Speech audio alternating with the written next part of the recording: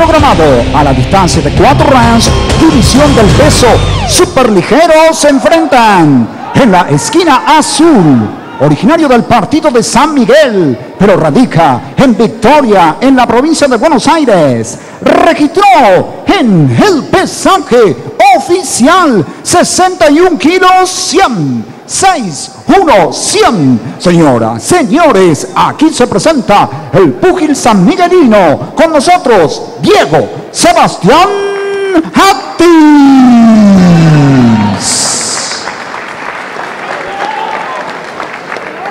Y ahora, en la esquina roja, originario de Virreyes en el partido de San Fernando en la provincia de Buenos Aires registró en la báscula 62 kilos 300, 6, 2, 300. Señoras, señores, aquí se presenta el buen Fúgil San Fernandino. Con nosotros, Lucas Iván Romero.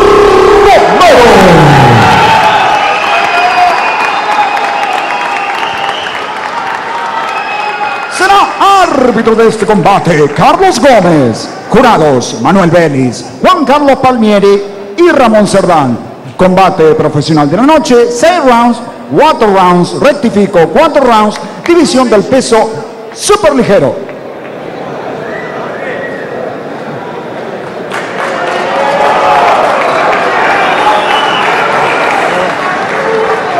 Señores, ya le di las instrucciones, obedezcan el reglamento, cumplan con el reglamento, se saludan esos rincones. Suerte, señores. Me informa Fabián Escalada que hoy en el CENAR se convocó a cuatro categorías, 75, 81 y 90 91 y más de 91. Y tuvieron un visto bueno dos chicos del 91. Van a seguir este, probando, por supuesto. Quien quiera llevar a sus pupilos pueden comunicarse con Lautaro Moreno en la Federación Argentina de Boxeo. Y esta iniciativa es realizada para buscar valores nuevos para el seleccionado argentino. Primer round. Buena iniciativa. Pantalón azul para una talla sensacional de Romero. Pantalón rojo para Tiz. Salió con todo el mellizo.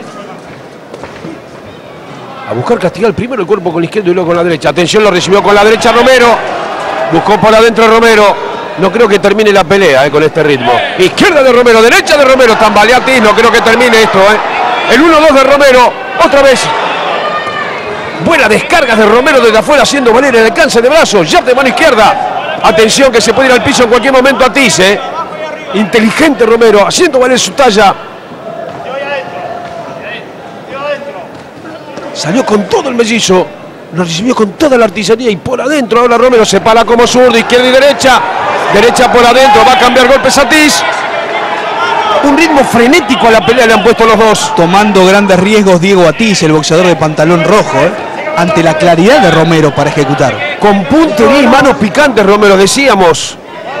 De las tres peleas que ganó, ganó dos por nocaut. Hay que estar muy atento. Derecha de Romero, lo hizo tambalear a Tiz.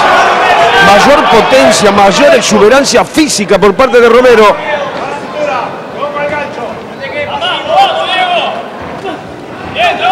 Se quiere meter adentro a Tiz ahora. Llegando con derecha.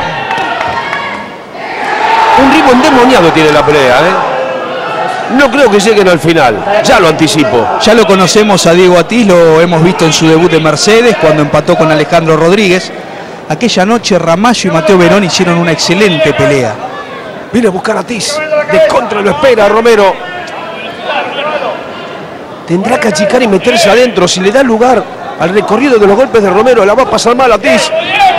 Llegaba a Tiz, izquierda de Romero, lo hizo retroceder a Tiz. Otra derecha sobre la cara de Atiz. La está midiendo Romero, se va, se va la primera vuelta. Está peleando en el detalle Lucas Romero, está buscando el momento de la explosión. No lo empujes, ¿eh? no lo hagas más. ¿eh? La distancia, la talla de Romero. Es un valor fundamental ¿eh? y clave en el desarrollo del match en favor de Romero. Sin embargo, a ti lo va a buscar. Temperamental y sanguíneo Atiz. El uppercut por adentro de Romero puede ser letal para Atiz, que viene derechito para esa mano. Se achica la distancia, llegó bien Atiz con el cross de mano izquierda. Epa, golpe bajo, golpe bajo. mano. Ya está, ya pasó. ¿Está bien? 20 segundos finales.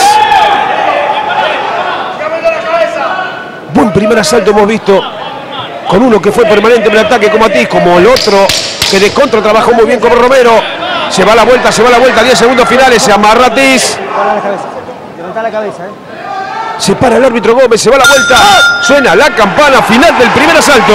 Me ha gustado y mucho. ¿A vos? Interesante los primeros tres minutos, coincido con Walter. 10 para Lucas Iván Romero, 9 para Diego Atiz. La primera diferencia para un boxeador pulcro, con golpes certeros, con envíos lineales que no pudieron ser absorbidos por Diego Atiz. No los pudo barrir, barrer el boxeador de San Miguel, el pupilo de Carlos Rodríguez del costarricense. Y aquí vemos la claridad que ha encontrado en los tres minutos iniciales Lucas Iván Romero para gestar la primera diferencia. Cuando hablábamos de diferentes federaciones donde había transitado Lucas Romero y graciosamente le dijimos intruso, es porque cuando el capitalista pone el dinero, en este caso eh, la gente de el cruce de tres de Malvinas Argentinas, es que no hay reglamento que Segundo round. soporte esa presión. Y por eso este chico volvió a pelear con el reglamento de la FAP, porque cuando está el dinero hay cosas que se rompen.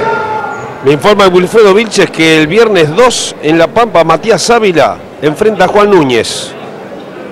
Estamos con toda la información del boxeo de todo el país. Mundo Interior. A propósito, mañana Mundo Interior 12 y 30 por por golpe a golpe. Desde Córdoba estaremos. La historia boxística del boxeo cordobés. Hacia allí viajó nuestro productor Axel Maidana. Salieron con todos otra vez Romero y Atiz.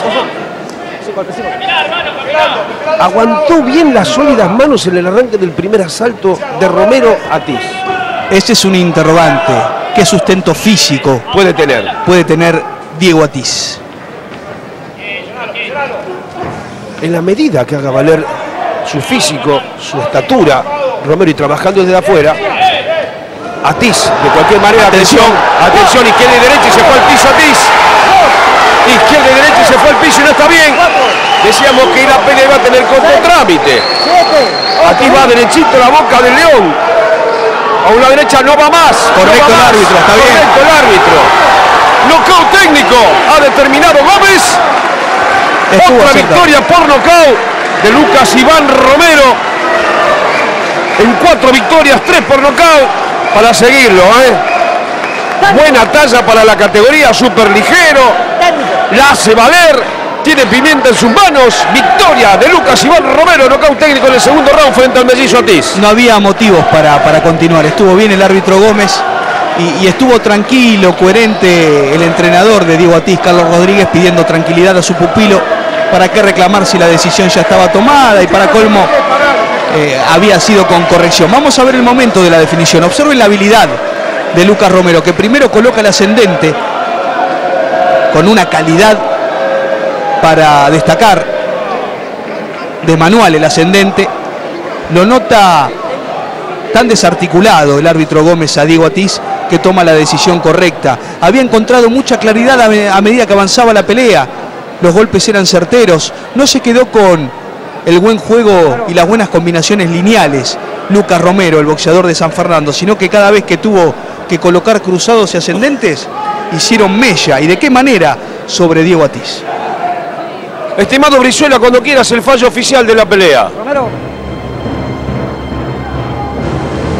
Fallo de este combate. Ganador por nocaut técnico en el segundo round para el púgil de San Fernando en la provincia de Buenos Aires. Lucas Iván Romero. Victoria de Lucas Iván Romero. De las cuatro que ganó, ganó tres por nocaut. Hombre con manos pesadas, con mucha pimienta, explosivo, netamente comercial. Lucas Iván Romero destruyó, apabulló y le ganó por nocaut técnico en el segundo round al mellizo Atiz. Impresionante.